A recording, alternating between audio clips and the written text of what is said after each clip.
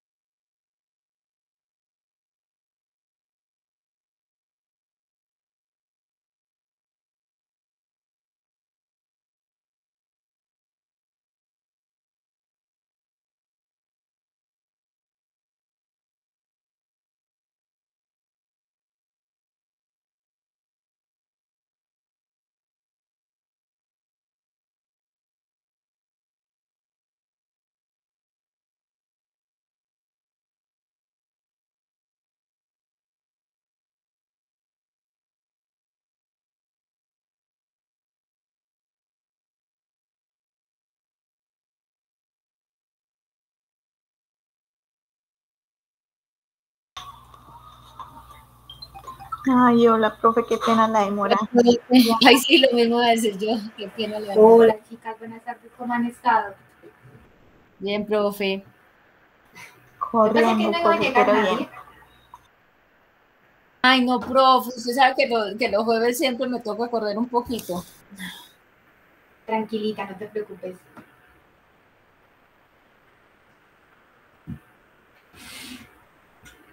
Si quieren, eh, comparten el link para ver si de pronto se conecta alguien más. Yo lo acabé de compartir en uno de los grupos de nada por de los demás. Ya voy. Dale, quedó pendiente.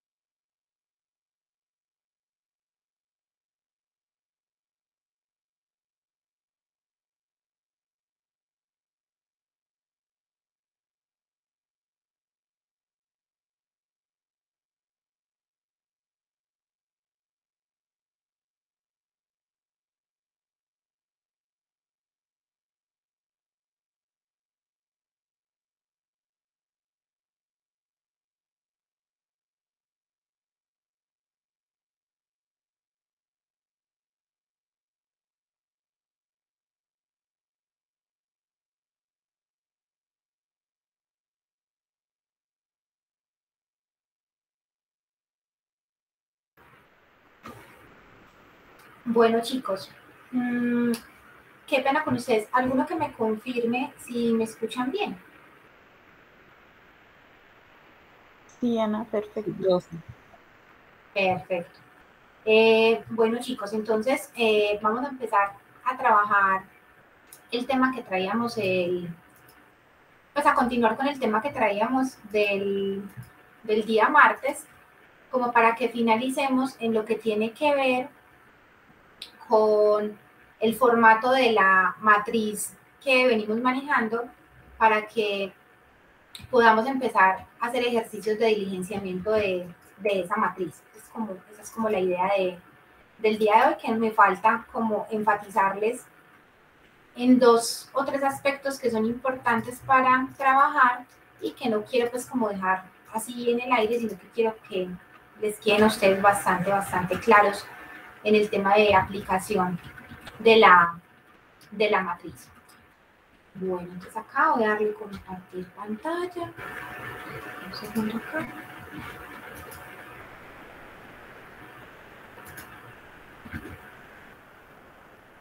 Confirmo que no se me bloquee. Este computador está teniendo un poquito de problema.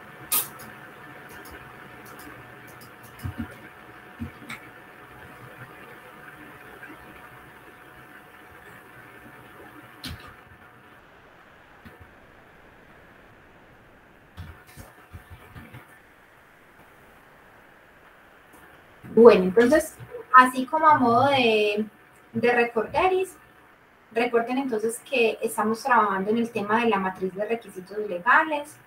Vimos que el tema de la matriz de requisitos legales responde a dos aspectos fundamentales. Uno es el cumplimiento de un requisito definido en el sistema de gestión de seguridad y salud en el trabajo, que es el que exige que las empresas cuenten eh, con una matriz de requisitos legales en la cual se identifiquen todos los requisitos legales que le aplican a esa organización y se evalúe el cumplimiento de esos requisitos legales. Y por otra parte, está el tema del régimen sancionatorio en temas de seguridad y salud en el trabajo, que ese régimen sancionatorio, pues básicamente nos establece cuál es la infracción o la escala de multas a las cuales puede verse eh, una empresa implicada por el incumplimiento de las normas específicas en seguridad y salud en el trabajo. Y que digamos que ya desde la perspectiva monetaria, eso varía desde 1 hasta 1000 salarios mínimos mensuales legales vigentes.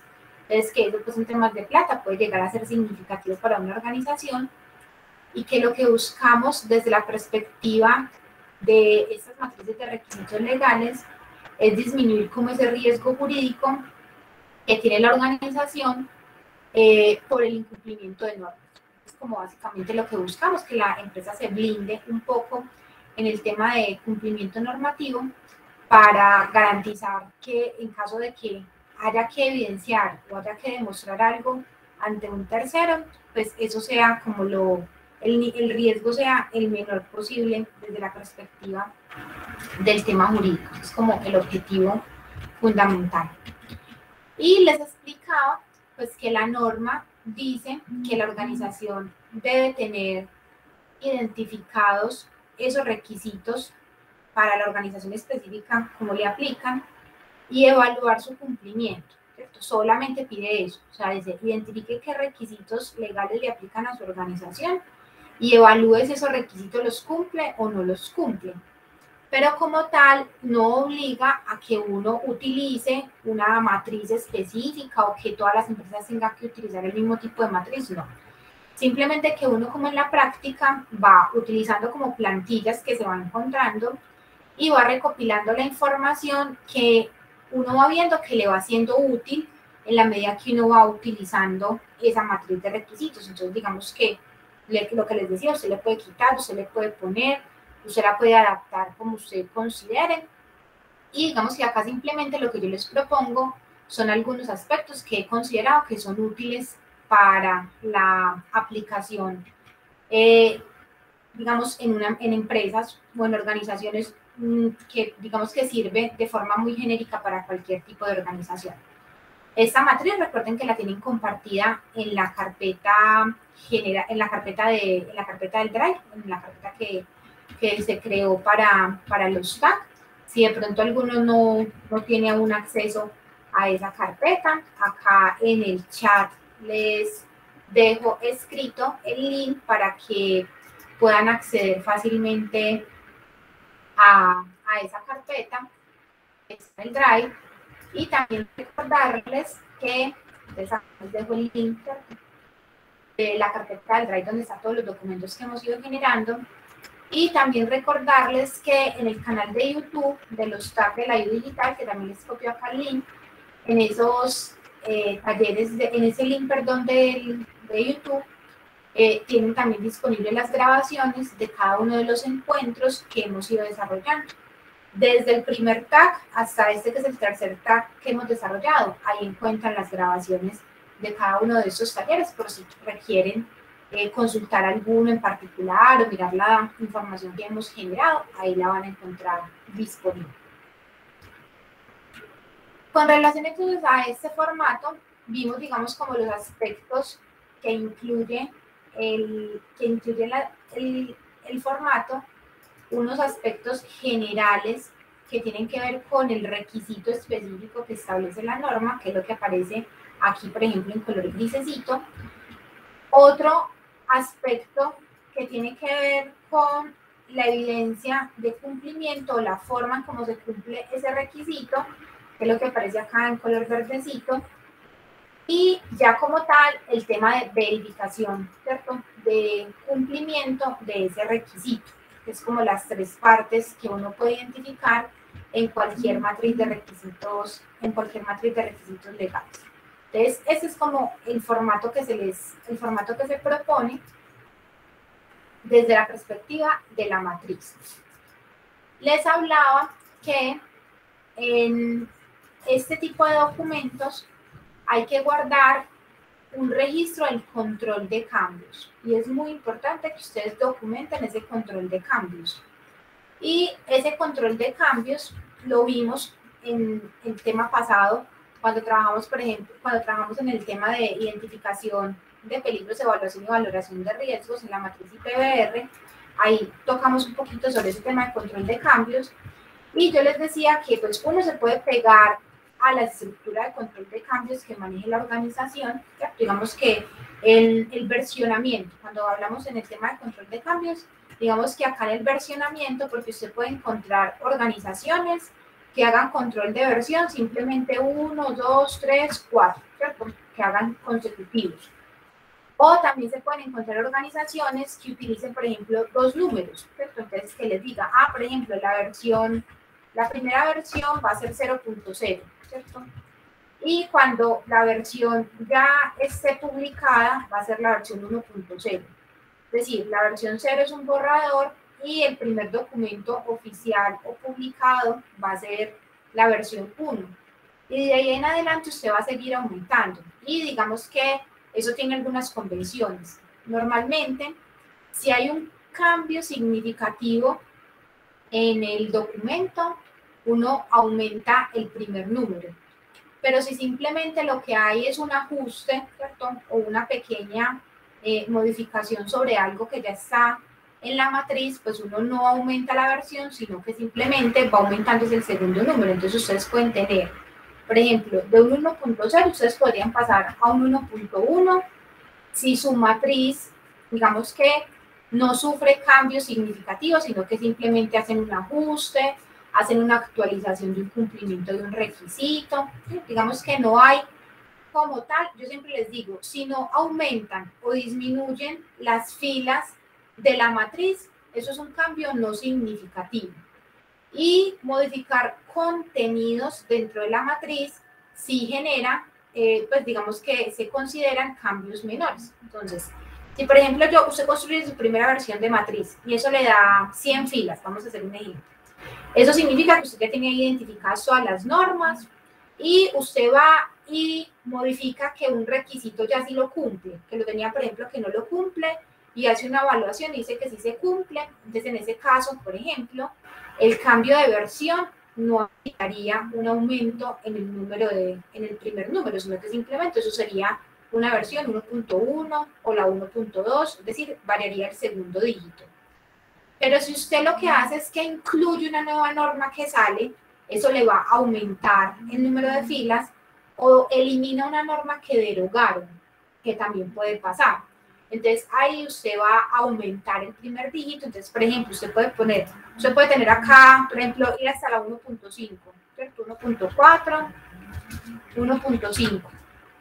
Y hubo un cambio tan significativo como el que llegara una nueva norma o que derogaran alguna norma, entonces usted puede pasar perfectamente ahí a la versión 2.0.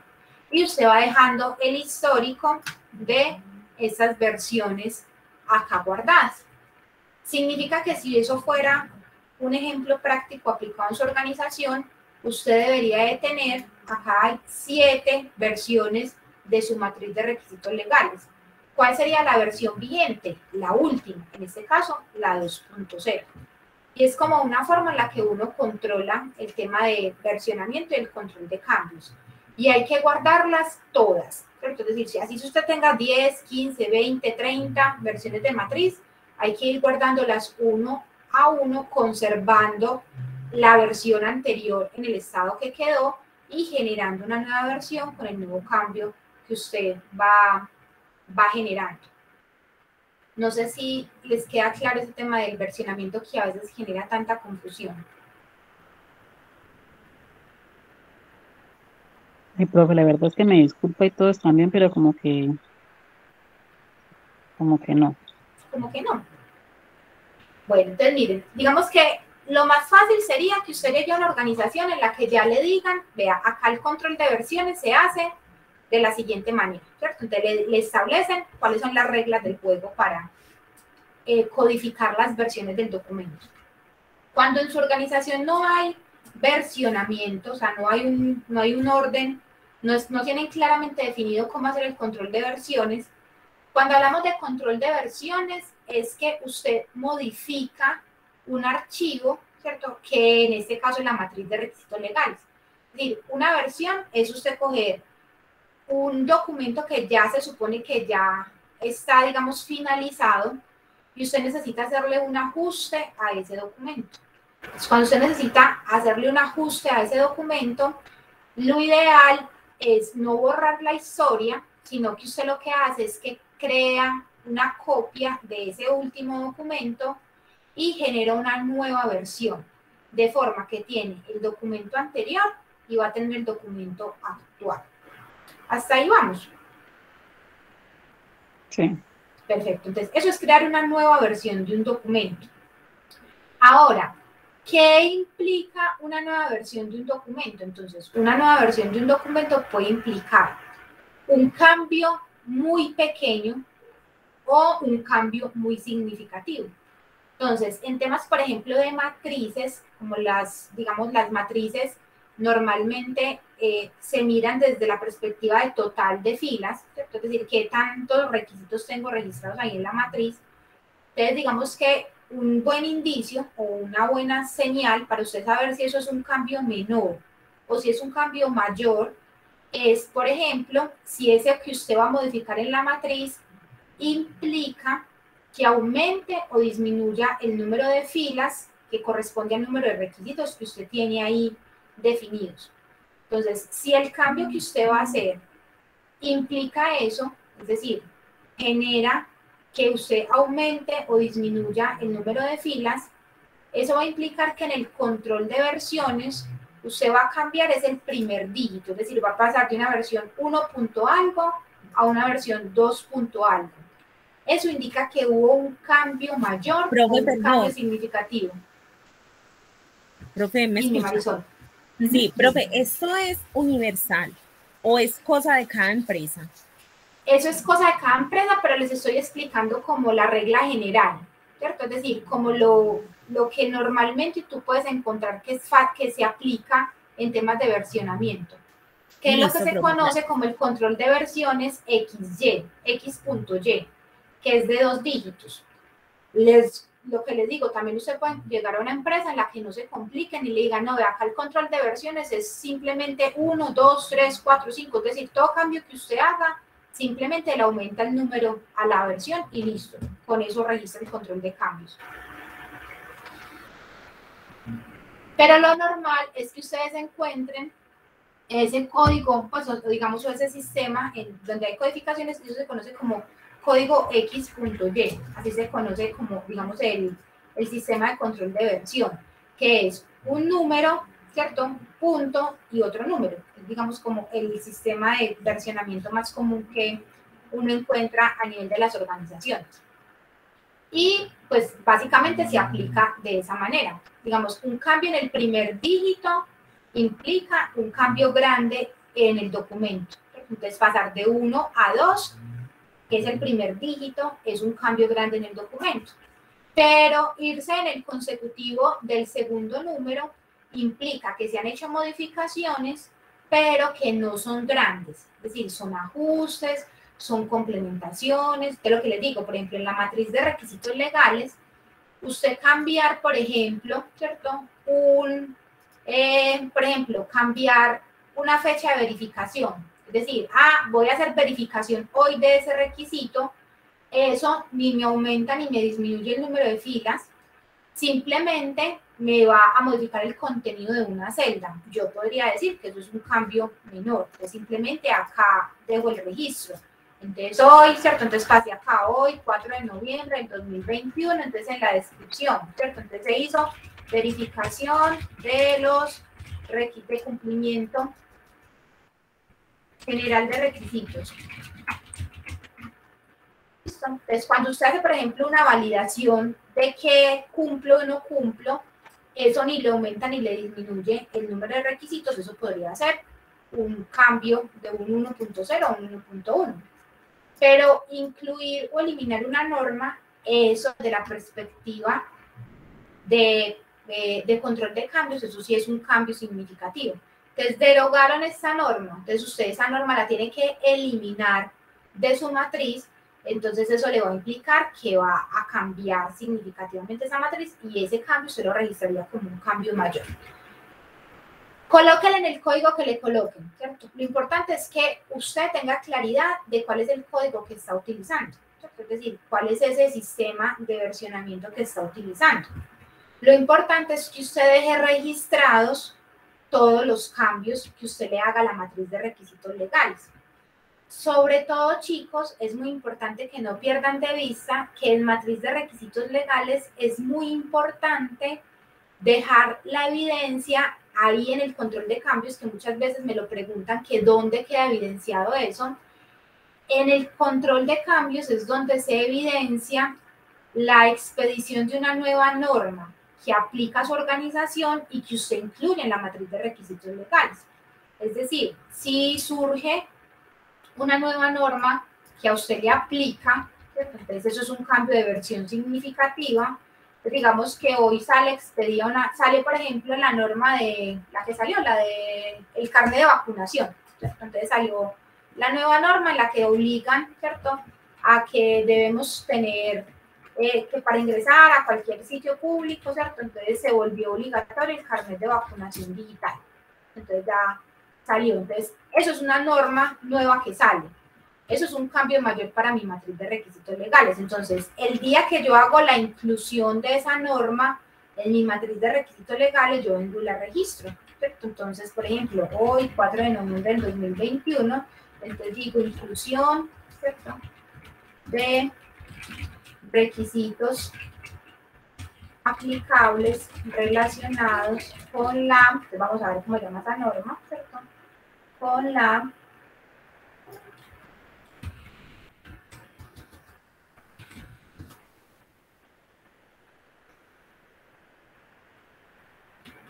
Entonces vamos a ver cuál es la norma que obliga a tener ese carnet de vacunación. Entonces resulta que salió un decreto y ese decreto es del Ministerio de Salud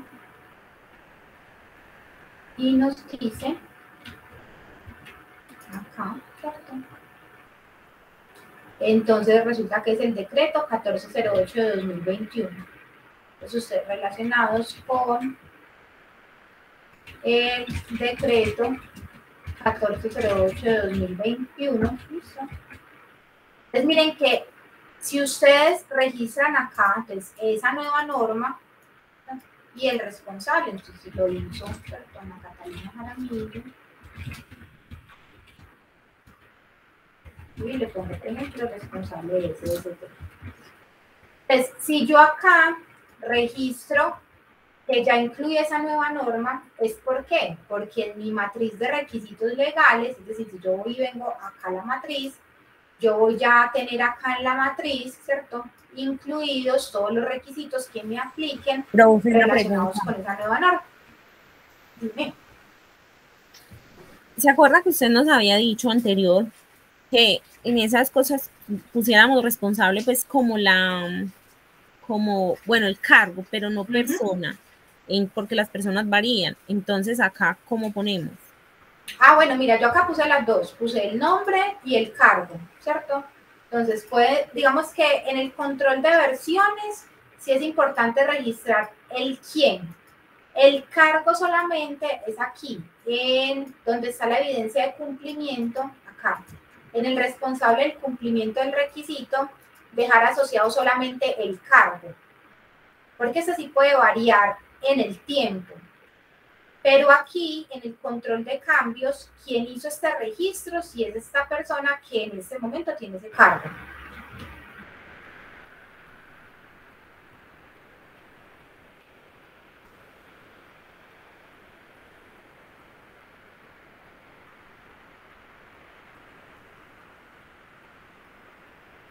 Profe, sí, ya lo entendí, muchas gracias. Con mucho gusto. Entonces, miren que de esa forma ustedes darían cumplimiento a esa exigencia que pide la norma relacionada con que la empresa, ¿cierto?, debe documentar eh, la aplicación de nuevos requisitos legales que se expidan o que se modifiquen. Entonces, yo de esa forma, aquí en el control de cambios, voy a dejar documentado cada una de las normas, sea que sea una nueva norma que ingrese, entonces mire que yo le digo inclusión, o usted le puede colocar registro, como se le suene más bonito, ¿cierto? Registro de los nuevos requisitos aplicables relacionados con tal decreto o con tal resolución, con tal circular. Que derogaron una norma, antes ah, usted dice, se eliminan los requisitos eh, aplicables relacionados con tal norma, la cual fue derogada por tal norma. Entonces, esos requisitos usted ya va y elimina esas filas de la matriz y ya le quedaría la matriz con ese nuevo control de campos. Esa es, digamos, como la forma en la cual usted deja ese histórico de documentación asociado con esa matriz de requisitos legales y que es muy importante ser muy juiciosos con esa, pues digamos, ser muy juiciosos con esa, pues con ese control, más allá del número de la versión, créanme que el tema del número de la versión, pues a veces uno se confunde un poquito, pero es mientras uno le va cogiendo como la práctica al sistema de codificación de versiones que tengan en la empresa. Pero como tal, lo realmente importante, más allá del número que usted le ponga a la versión, es que efectivamente usted deje documentados todos los cambios que usted haga sobre esa matriz de requisitos legales. Y muy importante que vayan guardando las versiones. Normalmente, una de las ventajas de usted tener el Excel es que recuerden que en Excel usted puede crear hojas, puede ocultar y puede mostrar. Entonces, miren, una forma, digamos, muy útil de uno guardar versiones de matrices es entonces, ah, voy a modificar esta versión de la matriz. Entonces, supongamos que esta era la versión, ¿cierto? Entonces, esta es la matriz y yo digo que esta era la versión, ¿cierto? 0.0, suponiendo que esa es mi versión 0.0. Y resulta que voy a modificarla porque hice un cambio. Entonces, para uno no llenarse de muchos archivos, sino que para mantener todo en el mismo archivo, pero, no para, pero para uno no enredarse. Entonces, básicamente, simplemente lo que yo hago es que le digo mover o copiar, creo una copia. Entonces, mire, él me crea una copia de esa última versión de la matriz que yo tengo. Y resulta que acá simplemente yo le cambio el nombre y le digo, ah, esta va a ser la matriz en la versión 1.0. Entonces miren que ya les queda la versión anterior y la versión actual. Si usted no se quiere enredar, simplemente le dice ocultar a la versión anterior, sigue trabajando sobre la versión actual y si en algún momento usted necesita ir a buscar una de las versiones anteriores que usted tiene acá, usted simplemente le da clic derecho, le dice mostrar y selecciona cuál es la versión que usted quiere ir a consultar. Esa es una forma muy práctica de usted tener, porque muchos lo que hacen es que crean otro archivo, ¿cierto? O sea, copian y pegan el mismo archivo. Entonces usted se llena en la carpeta de muchos archivos. Esa es otra opción. Usted a cada archivito le coloque la versión en la que va. Pero eso le implica estar abriendo y cerrando varios archivos. En cambio, cuando usted lo tiene en hojas dentro del, dentro del mismo Excel, digamos que simplemente para que usted no se vaya llenando de hojas pues, visibles, usted simplemente va ocultando y simplemente deja la que tiene ahí activa en su momento y cuando necesite alguna de las otras, usted simplemente viene, le da clic derecho, mostrar y trabaja con eso. Pues va y busca esa versión en particular que usted necesita consultar. Esta es una buena forma de guardar en el mismo archivo eh, varias versiones de un mismo documento, en este caso de la matriz.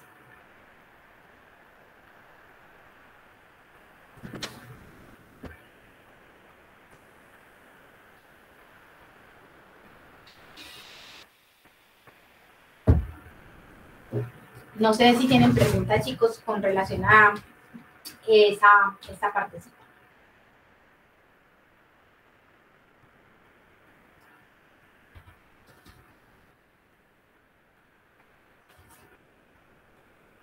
Profe, ahí vamos, ahí vamos aprendiendo cada día.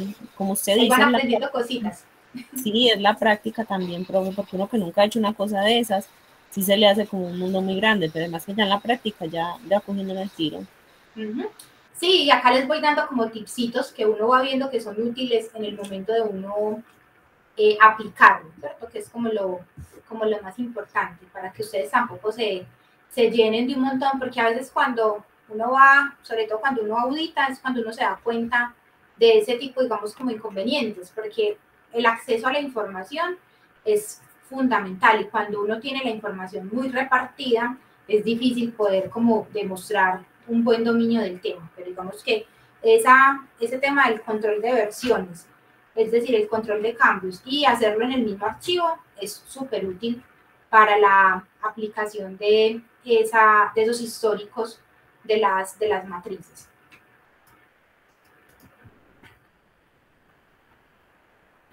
Bueno. Y ahorita vamos entonces a mirar eh, el tema de la biblioteca, ¿cierto? Que la biblioteca es lo que denominamos como el repositorio de la normatividad que usted va consultando para obviamente construir esa matriz de requisitos legales. Entonces, usted tiene dos opciones para guardar la información. Uno es que usted descargue el archivo, lo guarde en su computador y usted creando una carpeta donde va teniendo ¿cierto? todas las normas. Eso, digamos que tiene una ventaja eh, o una desventaja dependiendo de cómo usted lo analice. Entonces, uno es que, pues digamos que si usted es muy organizado, pues usted va a colocar el archivo con el nombre que corresponde, lo va a tener todo en la misma carpeta y eso le va a facilitar un poco la búsqueda de la información.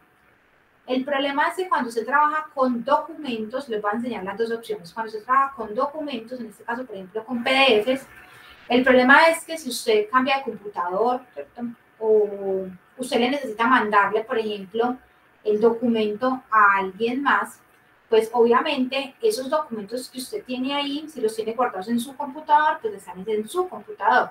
No están disponibles para enviárselos a otra, a otra persona cuando usted los tiene archivados en el equipo.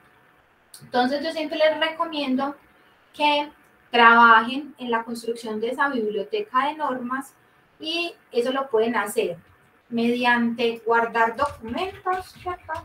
O guardar el link de la página donde está eh, publicada esa norma en forma de versión web. Que les voy a enseñar las dos, las dos se pueden utilizar y pues ya es a gusto como lo que ustedes prefieran y que les parezca más fácil de, más fácil de manejar. ¿Qué desventaja tiene tener las normas en documentos? Que resulta que las normas pueden ser modificadas. Entonces, si usted hoy tiene una versión por allá guardada del decreto 1072 del 2015, que es el, de, decreto único reglamentario del sector trabajo. Si usted guardó eso por allá en el 2015, cuando lo expidieron, ese decreto ha sufrido múltiples modificaciones que obviamente usted en su PDF no va a encontrar visualizado. Entonces puede generar eh, diferencias en cuanto a la versión actualizada de esa norma pero que usted lo puede tener, lo puede tener.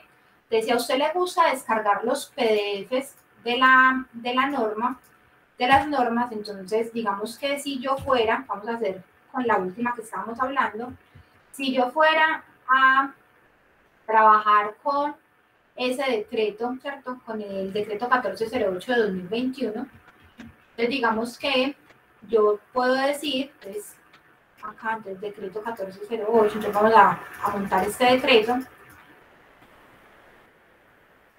Entonces resulta que voy a montar el decreto 1408 del 2021. Ese decreto, entonces, como les digo, yo tengo dos opciones de trabajarlo. Entonces, uno es pegar aquí, pegar acá en el, en el, en el Excel, en esta biblioteca, pegar el PDF del documento. Entonces, profe, ¿cómo así que pegar el PDF? Entonces, miren, yo voy a hacer, pues lo que voy a hacer es que voy a insertar, entonces cuando ustedes vienen acá a la opción insertar en Excel, ustedes pueden insertar objetos. Cuando yo le digo acá insertar objetos, al yo insertar un objeto en Excel, yo puedo insertar cualquier tipo de objeto. Y dentro de las opciones que tiene Excel en insertar objeto, le puedo decir que yo puedo insertar objeto desde un archivo. Es decir, que yo puedo, que acá haya un objeto que sea un archivo, es decir, el PDF de la norma que yo necesito. Y simplemente le digo examinar, voy y la busco en la carpeta en la cual yo la tenga, entonces acá tengo el decreto 1408 del 2021. Le digo vincular y le digo que me lo muestre como icono para poder, ¿cierto? Moverlo ahí y le voy a decir aceptar. Entonces miren que yo acá ya tengo, digamos, eso, es uno, eso se llama un objeto, ¿cierto? Un objeto en Excel. Y resulta que cuando yo voy y abro, es decir, cuando yo le doy doble clic a ese, a ese objeto que está ahí en el Excel, él lo que va a hacer es que me va a abrir. El PDF. Él me va a abrir el PDF, que es el documento que yo necesito consultar, que en este caso es el decreto 1408. ¿Qué ventaja tiene esta opción de insertar documentos en, en Excel? Que si yo guardo, entonces miren, yo ese archivo lo tengo en la carpeta de descargas. Voy a cerrar aquí. Y ya esto quedó inserto. Resulta que si yo mando ese archivo, yo les mando a ustedes este archivo. Si yo llego a ustedes y les mando este Excel, y usted lo abre, en su escritorio no está el, no está el PDF que yo le estoy mandando en el Word, en el Excel, perdón, ¿listo? Pero, ¿cierto? Digamos que... Ay, chicos.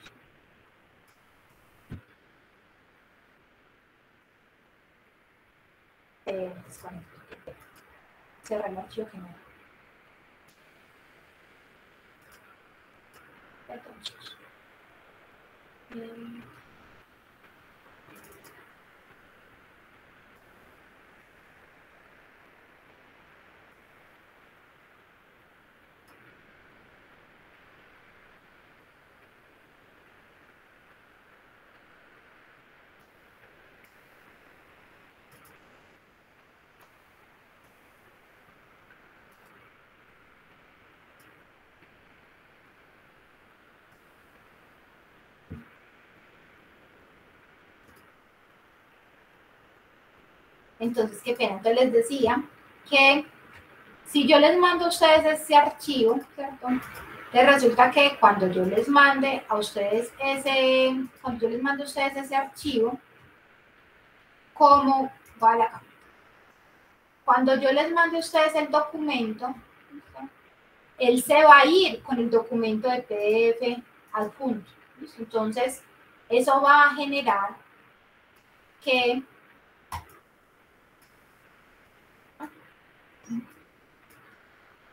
Eso va a generar que usted, que no tiene acceso al documento, porque usted no tiene mi computador, sino que usted está en su computador, eso le va a generar que usted pueda perfectamente, ¿listo? Abrir y descargar el archivo. Entonces, digamos, es como una forma de uno compartir.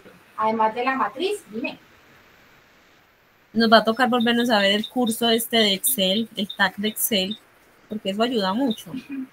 Mire esas Mucho, mañitas que sí. se hace. Son cositas muy útiles que le sirven bastante para, para uno ir trabajándole al, al tema. Esta es muy útil.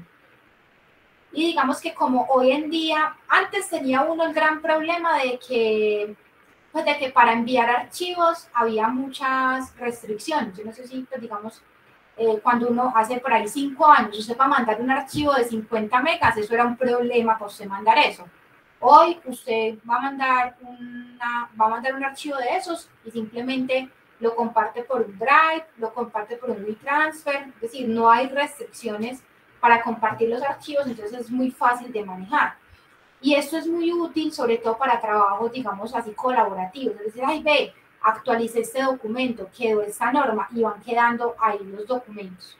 La única desventaja que tiene esto. Entonces, miren, la única desventaja que tiene la única desventaja que tiene este sistema, ¿cierto? O sea, guardar los archivos de esta forma, es que si esta norma la actualizan, pues tú no vas a ver la actualización. ¿Por qué? Pues porque tú lo que tienes aquí es el PDF. Pero que te sirve para consultar, te sirve para consultar. Entonces, es muy útil y les recomiendo que aprendan a utilizarlo, no solamente para, no solamente para eso, sino en términos generales es una buena opción utilizar el Excel para compartir ese tipo de documentos así organizaditos en informes, en reportes, sirve mucho.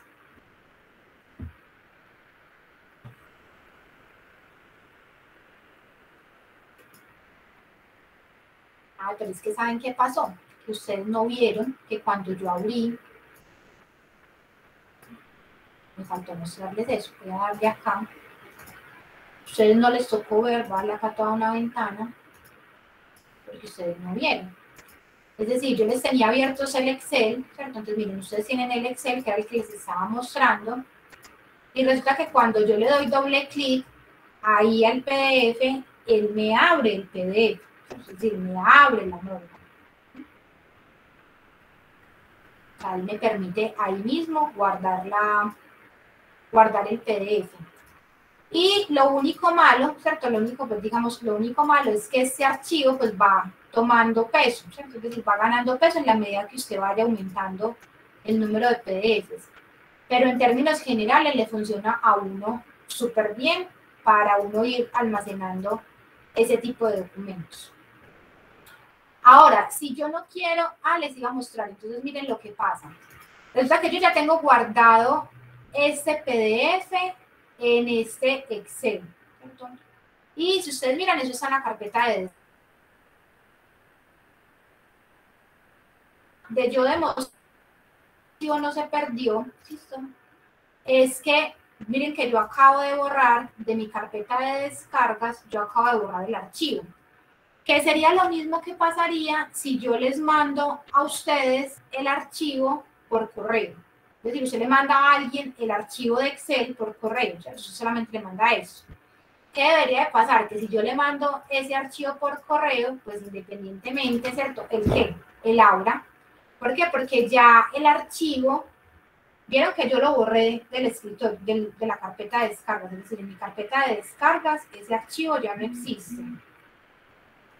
Pero como yo lo adjunté al Excel, ese archivo ya automáticamente queda pegado en el Excel y con ese pegado en el Excel, con eso ya usted puede compartir el documento sin ningún problema, o sea, sin tener que adjuntar el PDF también para que se pueda ir con el archivo.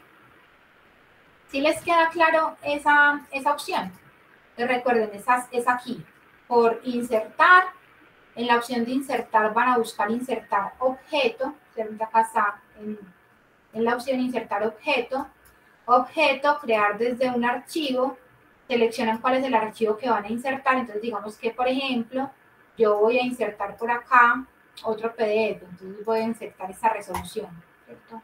Le digo mostrar como icono para que me muestre el icono del PDF y le digo aceptar. Pues ya él me queda acá y pues entonces voy que le doy guardar y antes de guardar, quiero mostrarles algo. Miren, acá, miren el tamaño de... les quiero mostrar algo. Miren acá el tamaño, ¿cierto? Esa plantilla de matriz de requisitos legales, que es el documento en el que estamos trabajando, hoy pesa 1024 kilovatios. Yo acabo de adjuntarle un nuevo PDF. Le doy guardar y miren lo que pasa con el tamaño. Entonces, miren, esa misma plantilla ya aumenta el tamaño y ya pesa 2.990. ¿Por qué aumenta el tamaño? Porque el PDF está quedando guardado, es decir, el documento está quedando guardado es en el Excel. Si usted guarda texto, eso no le pesa. Mira, archivos solamente de texto pesan más poquito.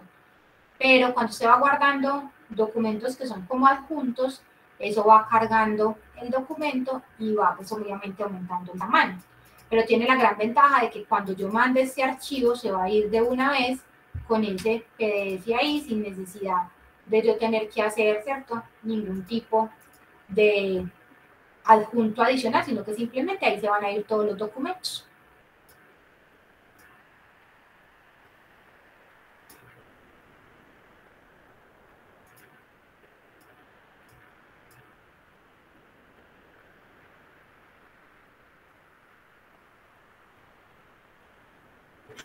¿Cómo vamos ahí?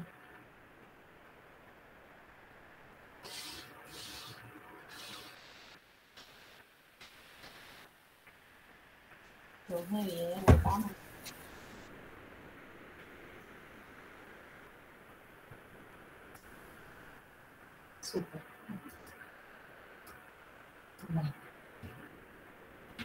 Y la otra opción, entonces voy a volver acá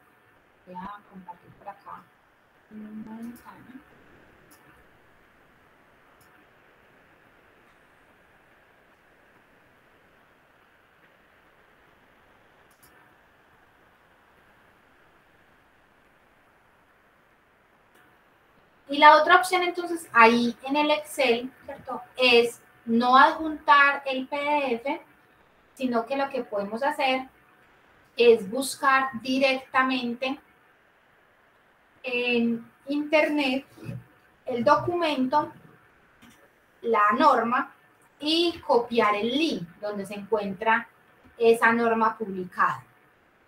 Y los que han trabajado conmigo, ¿cierto? Digamos que eh, les he recomendado algunas páginas donde uno puede consultar normas y que esas normas estén actualizadas.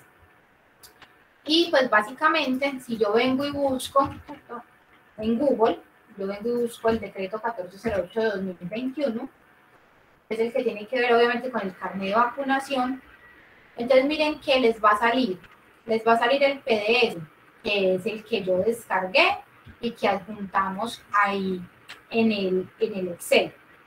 Pero resulta que también, ¿cierto? Les va a salir la versión, digamos, en línea de esa norma. por ejemplo, si yo vengo acá a la página, por ejemplo, de función pública, es muy probablemente, yo vengo acá y acá va a aparecer una versión, digamos, en línea de esa, de esa norma. Esa página es confiable o no. Normalmente las páginas que son, ¿listo? Que son qué? Que son institucionales, que son estatales, son páginas, ¿cierto? Bastante, bastante, bastante completas. Yo les recomiendo siempre mucho una que es la de la Alcaldía de Bogotá. Entonces, ¿por qué? Porque esa página de la Alcaldía de Bogotá tiene un repositorio de normas impresionante. Y miren que, por ejemplo, si ustedes vienen acá a la página de la alcaldía, donde dice alcaldía de bogotá.gov.co, voy a darle acá. En esa página de la alcaldía, si yo vengo y busco el decreto 1408 de 2000,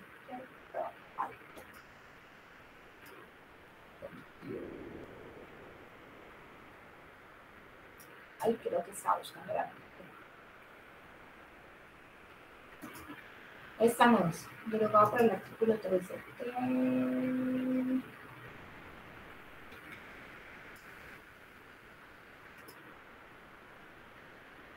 Decreto 1408 de 2021. Esa no, esta no es. Esta que acabamos de abrir no es esta. Acá. 1408 de 2021. 1408 de 2021.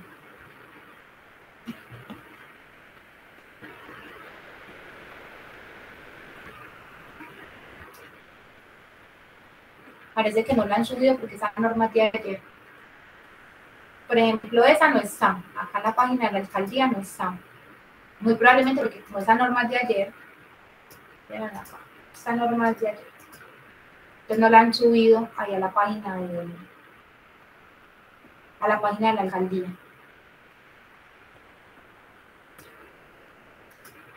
Miren, acá está el decreto 1408 del 2021, apenas salió expedido el día de ayer. Entonces, muy probablemente por eso es que todavía no aparezca acá en la página de la alcaldía de Bogotá.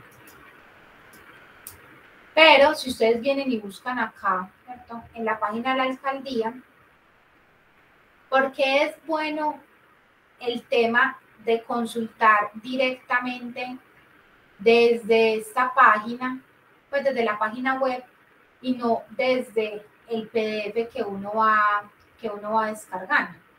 Pues básicamente porque cuando ustedes vienen y buscan desde la página directamente, ustedes miren lo que pasa cuando yo vengo y busco, el ejercicio acá. Voy a colocarles acá.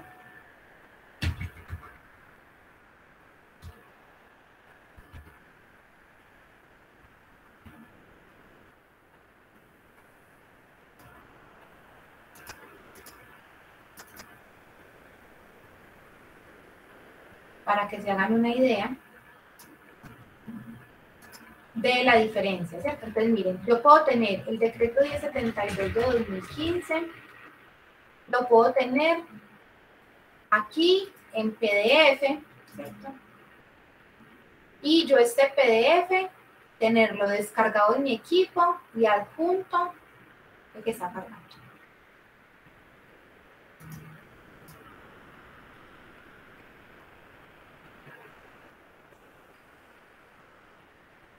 Entonces, mire, acá me dice versión actualizada al 15 de abril del el 2016. Es decir, este PDF está actualizado al 15 de abril del 2016.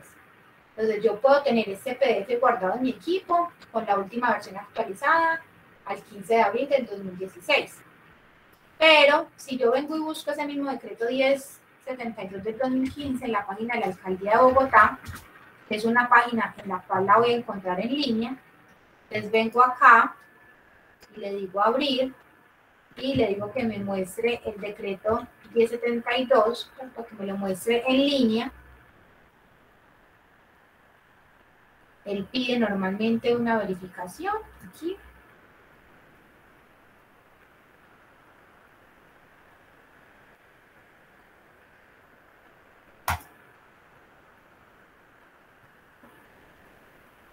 Y este decreto, ¿cierto? Entonces me va a decir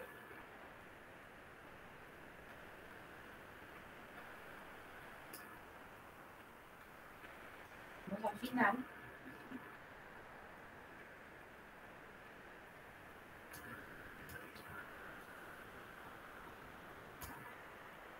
Tiene exclusivamente carácter informativo, el compilatorio del decreto 1072.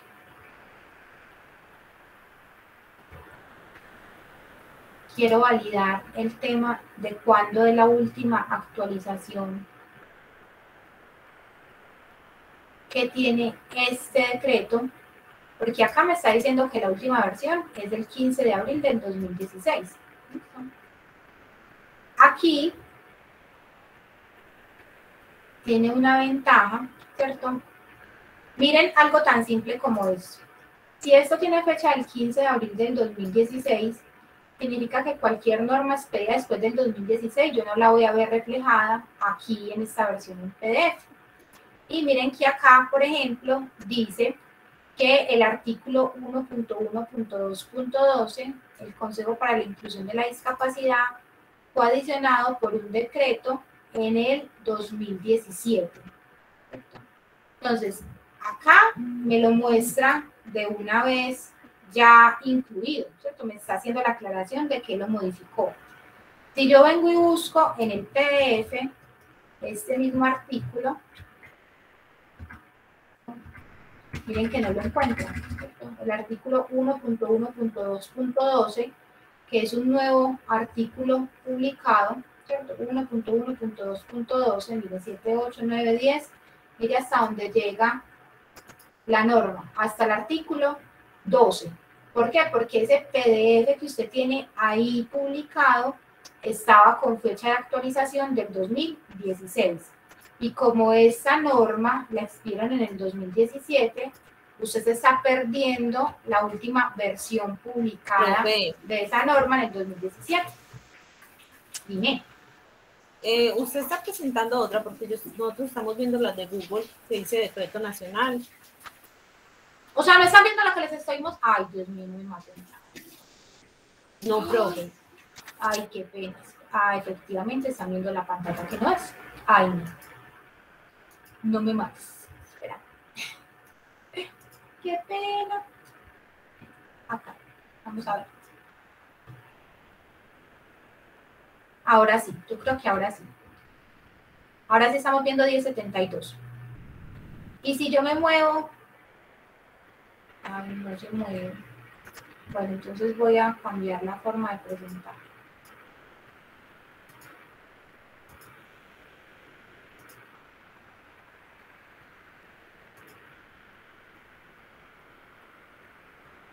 Ah,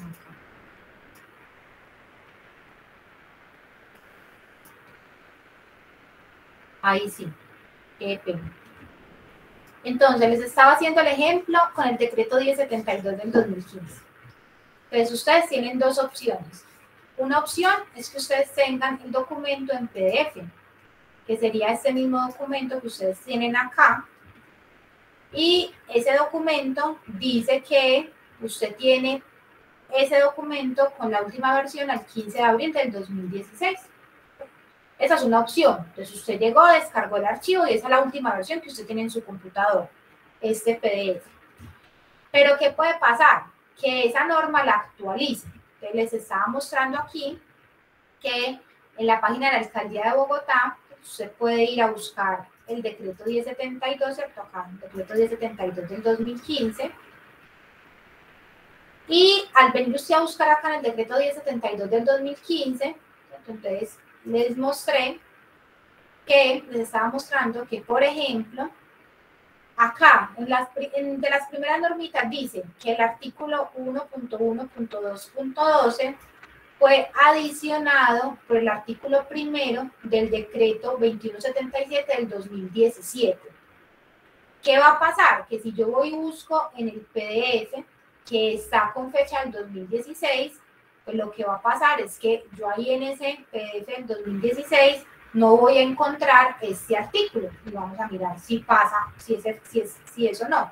Pues yo vengo y busco acá y vengo y busco el artículo, ¿cierto? 1.1.2.12 y miren lo que pasa, me dice, ah, no, pues es que acá llegas hasta el 1.1.2.11 y ahí se acabó el, el articulado de ahí porque ya pasa a la 1.1.3.1. ¿Por qué acá no aparece? Porque pues esa era la foto con esa actualización del 2016. Entonces, ese es el riesgo de tener los documentos en formato de PDF guardado y no tener consultado directamente, ¿cierto? En la página, en una página que haga las actualizaciones correspondientes a medida que se van expidiendo nuevas normas. Entonces, mi recomendación sería que usted allá en su matriz de Excel no guarde el PDF, sino que usted lo que haga es que copie. El link de la página web donde va a encontrar esa norma y copia el link y va a la matriz de PDF, a la matriz de Excel y en la matriz de Excel va a colocar es el link eh, vas a colocar ese link de la página de forma que cada que tú necesites hacer una consulta vayas directamente a la página web y no consultes un PDF que podría estar desactualizado.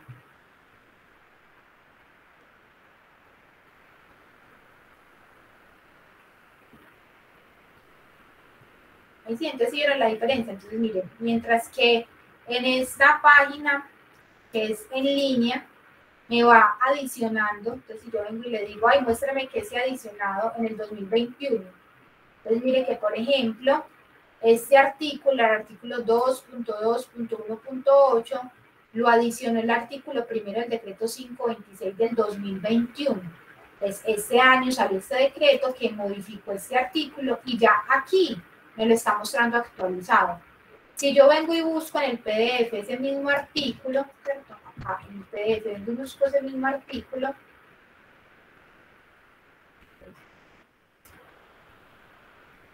Ah, pues voy no me, lo va a, no me lo va a mostrar porque este no tiene para, este es, un, este es solamente de visualización, 2.2.1.8.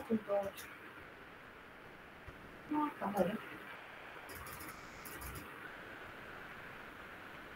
2.2.1.8.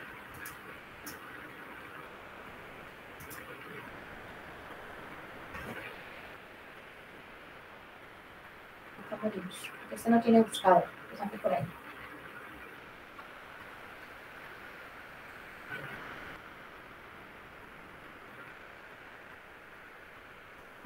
No, 2.2.1.8, ni siquiera está. Entonces no está adicionado. ¿Por qué? Porque este lo generaron en el 2021, entonces va solamente hasta el 7, miren 2.2.1.7 y esto que lo expidieron ahorita en el 2021, pues no me va a aparecer en esa versión del PDF, porque como está cortado el 2016, pues entonces me voy a perder la última versión actualizada de la norma. De la recomendación es que hagan esa consulta de las normas directamente en página web. esta página de la Alcaldía de Bogotá es una página que actualizan muy, muy constantemente. ¿Cierto? Digamos que es una página que mantiene la información, digamos, de normatividad muy, muy al detalle, muy, muy, muy útil y pues es de, de libre consulta, no tiene uno que pagar, porque por ejemplo, otras páginas como la página de Legis, que Legis es otra página que recopila normas, eh, es una página que eh, como es eh, como es paga, tiene, a veces es mucha la publicación de, los, de, los, de, las, normas. Pero algunas empresas, por ejemplo, pagan eh, suscripción a Legis. Entonces, las empresas que tienen, por ejemplo, pago a suscripción a Legis, uno puede simplemente consultarlo ahí y es útil tener el compendio de, el compendio de normas. Entonces, también podría ser, pero así como de páginas libres. ¿Qué, qué diferencia puede haber ahí? No, pues realmente es como que, por ejemplo, yo estoy casi segura que si yo entro hoy a la página de Legis, me va a aparecer, por ejemplo, en línea, ya el decreto que ahorita intenté buscar, que en la página de la Alcaldía de Bogotá aún no está publicado, ¿cierto? Porque se demoran un poquito en cargar como la documentación acá en la página de la Alcaldía. Pero de resto es casi que la misma, es casi que lo mismo. Créeme que es, es casi que lo mismo.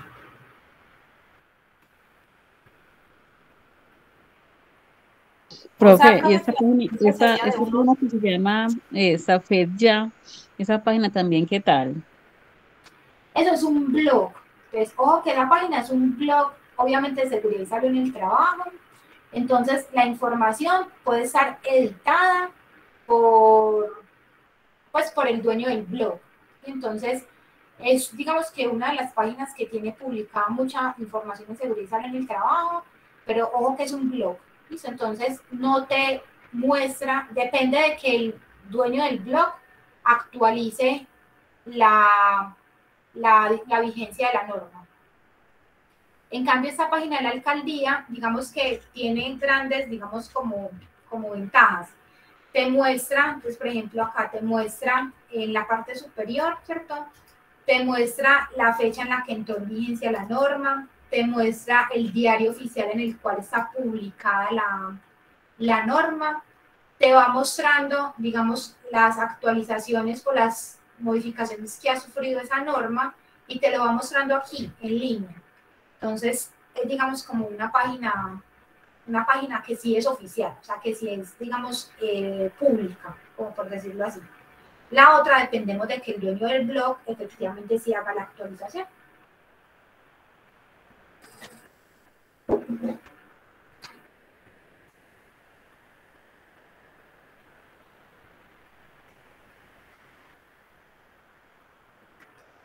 Mm, ¿De qué más duditas pueden tener, chicos?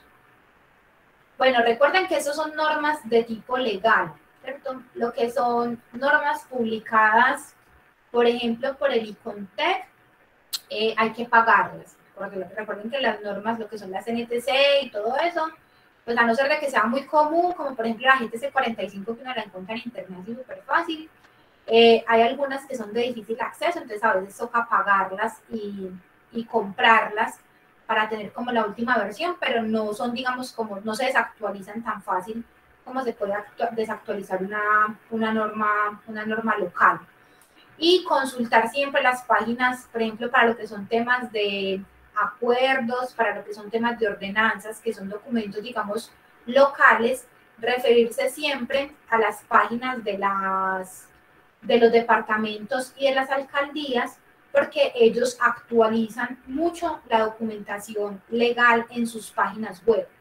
El, digamos que a nivel del el Estado se han hecho inversiones muy grandes y hoy lo que no ocurría hace, hace unos 10 años hoy el tema de acceso a información desde la parte estatal es muy ágil. O sea, créanme que es muy fácil que usted encuentre un decreto publicado, eh, una, una, norma, digamos, que sea actualizada fácilmente en línea, porque digamos que uno de los grandes retos que ha tenido el gobierno nacional ha sido ese. Entonces, hoy en día tenemos muy fácil acceso a las normas de forma, de forma digital. Entonces es como tratar de aprovechar como esa opción. Ah, y digamos que otra ventaja que tiene el ustedes hacer la consulta eh, directamente desde la página es que sí puede copiar y pegar. digamos que acá tú sí puedes copiar y pegar porque esto es texto, pues texto libre. Cuando usted está trabajando en PDFs es, digamos que más difícil porque el texto se le puede se le puede desconfigurar, puede estar protegido contra copia, entonces es un poco más difícil o complejo. Cuando copia y pega, a veces se le daña el formato del texto, entonces tiene como la, la, desventaja de este PDF para llevar la información al, al Excel. Entonces también tiene como esa, como esa diferencia.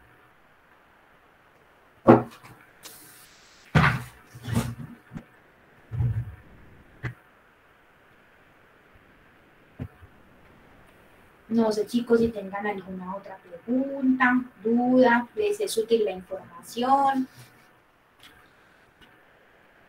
Profe, no, súper buena la información. Profe, me toca dejarla porque tengo clases ya, ya casi ahorita y la vez pasada entre tarde.